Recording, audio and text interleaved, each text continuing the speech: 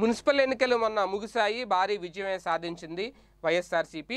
అయితే ఆ తర్వాత చేయాల్సిన పని ఏంటి? చేస్తుంది చేస్తున్నది ఏంటి అనేది తాజాగా బొత్స సత్యనారాయణ గారు చేసిన ఒక ప్రకటన కారణంగా మరొకసారి ఈ అంశం తెర మీదకి వచ్చింది. అయితే వాస్తవానికి అంతా బాగానే ఉంది ఇక్కడ.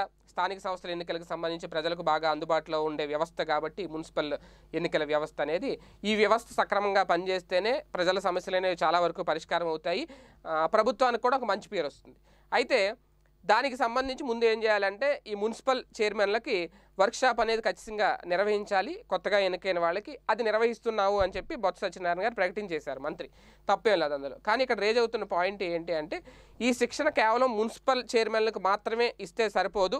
అలా చేయడం వల్ల సరైన ఫలితాలు రావు అనే పాయింట్ అయితే రేజ్ అవుతుంది ఇప్పుడు. ఎందుకంటే కొత్తగా ఎన్నికైన వార్డు మెంబర్ దగ్గర నుంచి కౌన్సిలర్ దగ్గర నుంచి కార్పొరేటర్ల దగ్గర నుంచి అందరికీ శిక్షణ ఇవ్వాల్సిన అవసరం ఉంది. ఎందుకంటే పాలనా వ్యవస్థ తీరుపై అవగాహన కల్పించాలి ఖచ్చితంగా.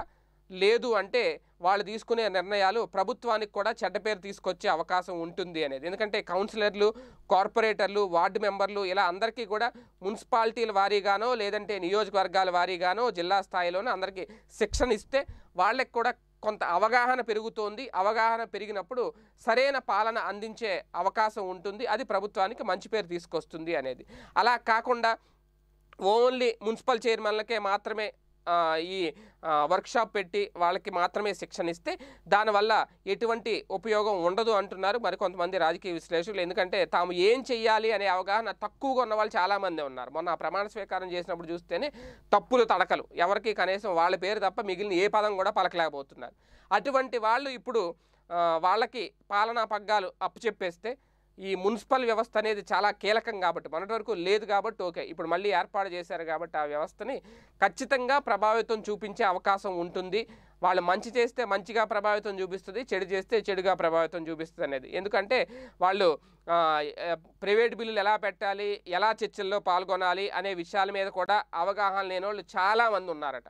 సో అటువంటి వాళ్ళకి ఖచ్చితంగా శిక్షణ ఇవ్వాలి. అసలు సామాన్య ప్రజలు ఎవరికి కంప్లైంట్ చేయాలి? ప్రజల సమస్యల పరిష్కారానికి ఎవరు జవాబుదారీగా ఉంటారు అనే విషయాలు కూడా ముందు వీళ్ళకి అవగాహన ఉండాలి వీళ్ళకి తెలియాలి. అదేం లేకపోతే రేపొద్దున ఒక సామాన్యుడు వెళ్ళి ఏదైనా అడిగితే ఈ కార్పొరేట్ దగ్గరికి వాళ్ళ దగ్గర సమాధానం ఉండదు. రేపురా మాపురా అని తిప్పుతారు. ఏంటి మేము జగన్ గారిని చూసి ఓటేస్తే వైసీపీకి ఓటేస్తే ఏంటి వీళ్ళు పనిచేసి పెట్టట్లేదు అనేది ప్రజల నుంచి ఒక నెగిటివ్ ఫీడ్బ్యాక్ వచ్చే అవకాశం ఉంటుంది. అందుకే ఈ శిక్షణ అనేది మున్సిపల్ చైర్మన్లతో పాటు వీళ్ళందరికి కూడా ఇస్తే మంచిది అనేది కొంతమంది చెబుతున్నమాట లేదంటే కష్టమే అంటున్నారు. మరి ఏం జరుగుద్దో చూడాలి. ఈ వీడియో గనుక మీకు నచ్చినట్లయితే లైక్ చేయండి షేర్ చేయండి. మరిన్ని వీడియోస్ కోసం మా ఛానల్ను సబ్స్క్రైబ్ చేయండి.